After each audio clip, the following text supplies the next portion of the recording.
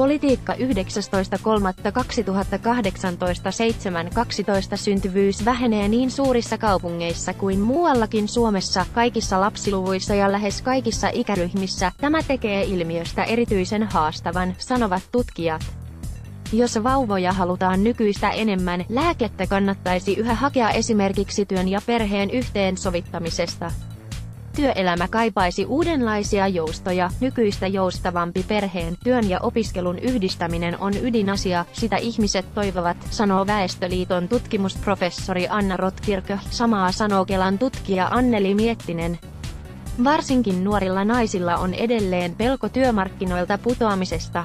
Pitkät perhevapaat näyttäytyvät monen mielessä haasteena, Miettinen sanoo, osa-aikainen työssäkäynti on selvästi vähäisempää Suomessa kuin muissa Pohjoismaissa, asenneilmapiiri on sellainen, että on oltava joko kokoaikaisesti töissä tai kotona. Näen työelämässä paljon vaikuttamisen mahdollisuuksia. Osa-aikaisia mahdollisuuksia voisivat käyttää molemmat vanhemmat, Miettinen sanoo, Rotkirkö kritisoi yleistä ilmapiiriä, keskustelua on käyty niin, että toiset kannattavat tarhaa ja toiset kotihoidon tukea, pitäisi katsoa, mitä perheille mahdollistetaan. Keskeisiä keinoja ovat vakaat työsuhteet ja yleinen viesti, että on ihan ok saada lapsi ja olla hetki hoitamassa kotona. Kohentunut taloustilanne ei näy, syntyvyys on Suomessa historiallisen matalalla ja laskenut jo seitsemän vuotta, näyttää siltä, että myös perhekokotoive on kääntynyt laskuun, Miettinen sanoo. Suurta perhettä toivovien määrä on tippunut selvästi. Yhtä lasta tai ei lapsia lainkaan toivovien määrä on kasvanut, ilmiö on poikkeuksellinen, sillä aiemmin oli todennäköistä, että lapselle toivottiin sisarusta, Miettinen kertoo, takana on pitkä taantuma. Työttömyyden uhan ja taloudellisen epävarmuuden tiedetään vaikuttavan lasten hankintaan. Silti kohentuneella taloustilanteella ei ole toistaiseksi ollut vaikutusta, syntyvyys näyttää vain laskevan, tulevaisuutta on vaikea ennustaa, sanoo Terveyden ja hyvinvoinnin laitoksen erikoistutkija Johanna Närvi.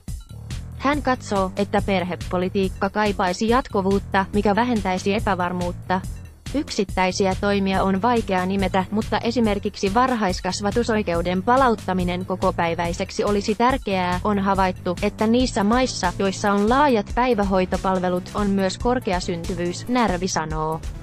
Ratkaisu ei synny vauvarahoilla.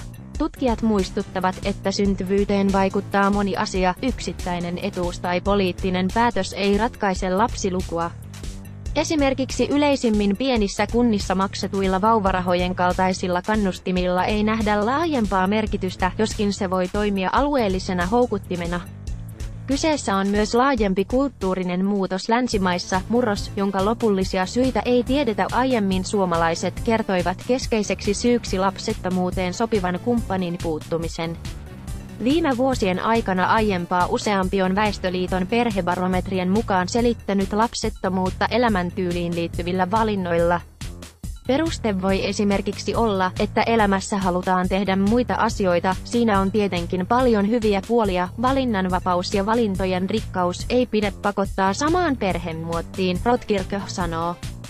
Tutkijat sanovat, että huolissaan pitäisi olla siitä, että suomalaiset saavat vähemmän lapsia kuin haluaisivat. Ei-toivotun lapsettomuuden ennakoidaan lisääntyvän, yhteiskunnan huoltosuhde on toki ongelmallinen, mutta suurimmat tragediat syntyvät toteutumattomista toiveista, Miettinen sanoo, Saarikko, alhainen syntyvyys on uhka. Alhainen syntyvyys on uhka yhteiskunnalliselle kestävyydelle, perhe- ja peruspalveluministeri Annika Saarikko, keskusta, sanoo.